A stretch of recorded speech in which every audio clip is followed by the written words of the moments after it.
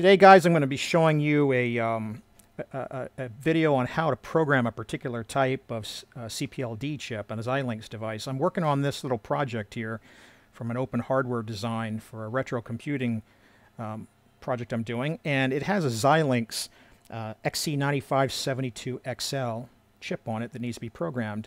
And unlike a EEPROM, there's a little bit more to this, and I thought it'd be worth recording what's involved here for you guys. So um, let me go take you over to the computer here and show you a little bit more. So this is the spec sheet for this particular uh, CPLD that we're using, the, the 9572XL. And in order to program one of these, you, you need to have a special USB cable, and you saw that in the previous shot. It's like an adapter that goes between the USB and the device. And we're going to be using this, a clone of this platform cable USB. Now, if you scroll down through here, there's an example picture of the genuine one from Xilinx. This one we're going to show you in a bit is a clone of a particular number. This one is a DLC 9G in the picture. This is a clone of a, of a DLC 9LP, which is a little bit older. In order to use this device, you need two pieces of software because I'm running on um, uh, Windows 10 here, so I'm trying to show you something that's pretty current. So you need a copy of the Xilinx uh, ISE package 14.7. If you just Google that, it'll come up here to a link like this. And if you go in here and look at 14.7 for Windows 10, you'll get a download link for this. You're going to have to set up an ID in order to download this. But this guy right here is what you want. Now, what it doesn't tell you in the download is it has a prereq. And in order for this product um, to run on Windows 10, they had to bounce it into a container and run it in a virtual machine uh, so that it's actually running on Linux inside the container within the Windows 10 environment. And what they use to host that is Oracle VirtualBox. And so you'll need to download and install Oracle VirtualBox first. Now, it wasn't tested on 6.1. They're actually looking for an older version, and you can go find that in the downloads view if you want. It'll just give you a warning. It works just fine for me. I installed 6.1 at the time of making this video, and then I went over here and installed the download I did for the uh, 14.7 ISE package. So once you get that installed, you'll be left with a couple of icons, and we're going to go into this Project Navigator icon. After you get this installed, this is what you'll get. Now, during the install, it'll also ask you to pick a directory that you'll use to shuttle files between the virtual machine running Linux and your Windows machine. So be sure you enter something in there where you're going to keep your project files. So this is going to take a little bit of time to boot up. I'm not actually not necessarily going to burn the whole video waiting for it, but um, as it keeps going, um, we'll come back when it's done. All right, so it takes a while for this to boot up, guys. Um, that's why we skipped ahead on the, the video. So mine's coming up like this because I've, I've ran the uh, program build before, but I'll show you yours should be coming up asking you for a project file. Uh, there's two there's two like kind of views of this like I was mentioning earlier when you set up the virtual box you're going to need to have uh, a view for the virtual box into your Windows file system so you can get your project files so it's going to initially be kind of looking at this this kind of empty structure which is just the virtual box what you want is this ISE structure which is going to end up being where you can keep your project files. I stuck mine in this hierarchy under documents and this is this fake 6509 processor project. This is actually a kind of a replica of an old early 80s uh, MOS microprocessor that's been out of production for a very long time. I'm actually going to switch this to the all files view because I'm going to go down the path as if you did not have the JED file and we're going to build that from the project file which is going to have an XISE extension. And we're going to open that up. So this is the actual source for the hardware programming and I'm going to um, kind of try to increase our I'll view down here if I can get the mouse to catch it. There it goes. And then I'm going to select this guy and select this guy for implement design. And then I'm going to come up here and I'm going to rerun everything. So I'm going to click, select this, select this, and then select rerun all. And then you can see down here is where the, all the action is. It's actually going to take that XISE file and the various artifacts that it points to, and it's going to build a bunch of other files. The one we're interested in, of course, is the JED file, because that's what we're going to use to do the programming. Now, I'm going through this step because this particular project, when I first started it, um, the, the, the, the repo did not include a JED file. So I had to figure out how to build my own using this uh, ISE suite And then after that, I'll show you the tool that you could use immediately if you already have that. So this goes pretty quick. This is not that large of a design for this particular CPLD. It's getting near the end of the process right now. In fact, it's just got another step to go here. And when it's done with the last step, it's going to pop up an HTML file uh, to let me know that you know it's completed and some stats about it. And there it is right there. So I'm going to go ahead and close this out. I'm not really interested in this. And then now with the file built, I can come up here to the Tools menu, and the tool that you could run directly is Impact. This is the tool that would consume the JED file and do the programming. So now that we have one, we can launch that. It's going to tell me it doesn't know what the target device is. That's okay. We're going to tell it as soon as it comes up.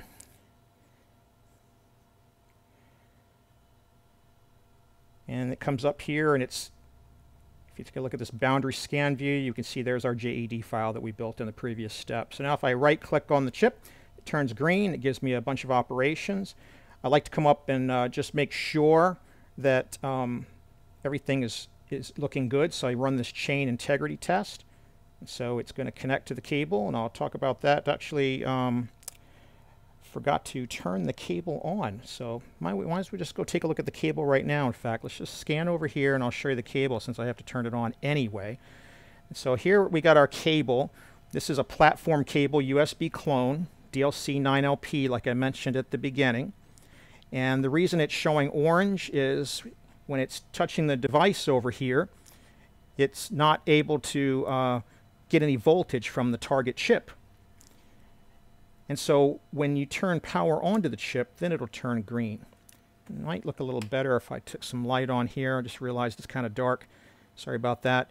So again, you know, if there's no power, it's, it's an orange color. You turn on your power, it's green. And what that is, is just the voltage reference coming from the target board that you're trying to program. So you can see on this particular hardware board, I, have soldered on some bodge wires to the JTAG terminals that come off the programmer adapter cable so that we can uh, do what we're going to do here. And one of those is a VREF, a voltage reference, and it's just making sure that the Xilinx device is getting 3.3 volts. Now there's another type of this uh, adapter, and this is a, a JTAG SMT2, and this is another clone. This is a clone of a Digilent type of adapter. It won't work with these XC9500 XL series devices though. It'll erase them, it'll pull an ID on them, it'll come up and look like it's got a verified boundary chain, but it won't program and verify them. It's something to do with those devices being a little bit too old and this being a little bit too fast and new. See, if you're going to program these particular types, you got to have a clone of the original. And I'll put some information in the video description uh, about this and, and how to tell that you're getting the right one. You don't buy one that's not going to work for these older devices. The, the other one will work for all the newer stuff, but just won't work for the older one. So now with this guy turned on, let's come back over here. And at that point, we should be able to go back and do the operation that we were trying to do before, where we were trying to verify that everything's set up to go. So now it's connecting the cable, and now it's successful basically, if you don't have a VREF signal, it, it acts as if the, the cable is not available and, and not you know dead to you. So I'm going to come in here to this cable, and I can either right-click on the chip, or I have the operations over here. It doesn't matter which one you do. I'm going to do a blank check on this guy first. It says it's not blank. So the first thing I'm going to do is I'm going to erase it. Erase has succeeded. Going to do another blank check. Good, the part's blank. And now I'm going to program it. Now this particular old cable is kind of slow, and that's why some of these newer ones, like the other one I showed you, have replaced it. Um, you know, but it's kind of all relative, right? You know, compared to uh, the era that it, it was uh, in vogue, it wasn't that slow then. So if you need to program one of these things, this is what you got to do. So it takes, um, you know, maybe a, a minute, a minute and a half to get through this operation. The whole thing, if we weren't doing the video here, you can see um, is probably going to take you between 5 and 10 minutes, depending if you run into some kind of glitch or something of that nature. All right, so we're at the end. It's going to uh, do a program and verify, but you can also, if you want to be super, super sure, you can do a manual verify, and it'll go take a look at the JED file and compare the contents that are on the CPLD, and it'll verify that they are identical. And it'll go through and check along on that. And again, you know, you can see visually up here, but you can also see in the scrolling text message of the log specifically what's going on and, and if there's any errors, there'll be detail down here that you can follow up on. But I think we're just about done with this. And it's got a couple other things to show you, and uh, we'll wrap it up. Okay, so it verifies succeeded. So at this point, the device is programmed, and I can go try it out in, in my project. Now, setting up that cable, there's a little bit more I want to tell you about that. This particular one that I had came with a DVD, and on that DVD, I'm going to step back here a second. On that DVD, uh, it's all in Chinese. That's the main reason I wanted to show it to you. And it turns out the drivers are sitting in one of these folders. These other folders are um, either PDF files or there's actually a copy of some other software that you can use. But if you go in here, you'll find the drivers. Now the problem with the drivers, this is Windows 10, so I'm using the 64-bit drivers. The problem with the drivers is that because of this uh, Chinese characters in, in the file name, I found that you actually can't get the install program to run from File Explorer. You actually have to copy all of this to a temporary folder on your hard drive and run it from the command window. And then it'll work just fine and it'll get your drivers installed. And if your drivers are installed properly, you'll see them in Device Manager of Control Panel. And that'll allow the virtual machine uh, to make the connection it needs. And if you're trying to see something about the cable, you can come into the Cable Setup and we can actually see the platform cable is the one it's using and the other one that I showed you was this Digilent cable. So hopefully this has helped you out. And again, just to re, you know, re, re, you know, kind of recap, you need to get a copy of Oracle VirtualBox. You need to get a copy of the Xilinx ISE 14.7 package, and the Oracle box I used here was version 6.1. You put Oracle box on first, then ISE. You kick it off from the main menu here. I'm just going to show you here and uh, minimize this, and you can actually see these are programs running within this Linux container that is itself running on Windows. So we can see we have all these files over here, but from the Windows side, run the project navigator, and that'll allow you to build the JED file from the project. If you already have the JED file, you can run Impact directly. All right, guys, one last thing I wanted to show you is, you know, what if I wanted to launch, um, what if I wanted to just program the JD file by itself? I could directly launch Impact uh, in isolation. I don't need to launch the Project Navigator. So this guy is going to you know start to boot up like when we did the ISE originally. I'm not necessarily going to show that whole thing, but when it finishes coming up and it's all fully and ready to go, then we'll come back and I'll show you how you can jump in and, and just pull up the JED file and jump straight into programming. So let's let this guy come up and we'll come back. All right, guys, we got it up and loaded. Um, it, you might see a message like this uh, if you've moved the directory. Now, I took the folder structure that we're using in the previous part of the video and I just created a, you know, renamed it here and I created a new directory and I plopped the JED file, uh, the JEDEC file that we had built in the previous segment into this new folder.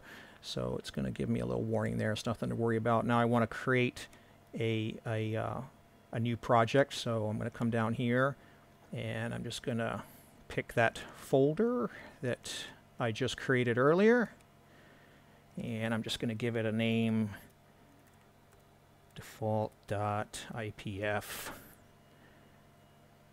should probably create it normally by itself but all right and now I want to create using a boundary scan it's going to make sure you have the cable powered on by the way uh, so that it gets to this point and doesn't get an error and now we're going to pick the JED file that we plopped into that directory and we're going to take the defaults on this.